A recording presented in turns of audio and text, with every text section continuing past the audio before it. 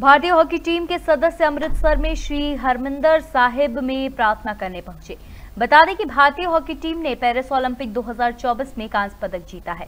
वही भारतीय पुरुष हॉकी टीम के कप्तान हरमनप्रीत सिंह ने कहा, मैं बहुत खुश हूँ। हमने श्री हरमंदिर साहिब में प्रार्थना की।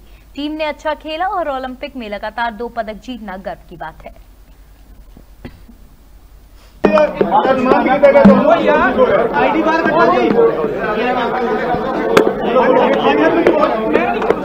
ਦੇਖੋ ਜੀ, ਬਹੁਤ ਵਧੀਆ ਲੱਗ ਰਿਹਾ, ਕਿਉਂਕਿ ਜੋ ਕੁਝ ਵੀ ਅਸੀਂ ਜ਼ਿੰਦਗੀ 'ਚ ਕੱਟ ਰਹੇ ਹਾਂ, ਗੁਰੂ ਮਹਾਰਾਜ ਦੀ ਕਿਰਪਾ ਦੇ ਨਾਲ ਹੀ ਸਭ ਕੁਝ ਹੈ ਜੀ।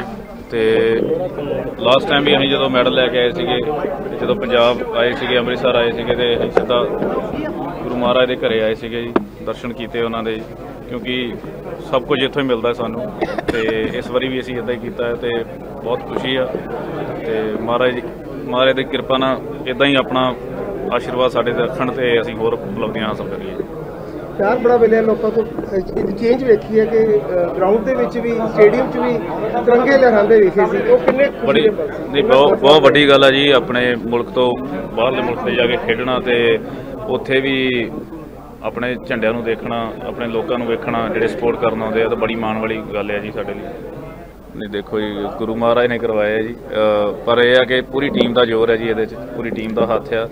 ਤੇ ਹਾਕੀ ਦੇ ਵਿੱਚ ਲਗਾਤਾਰ ਬੈਕ ਟੂ ਬੈਕ ਦੋ ਵਾਰੀ ਮੈਡਲ ਜਿੱਤਣਾ ਬਹੁਤ ਵੱਡੀ ਗੱਲ ਆ।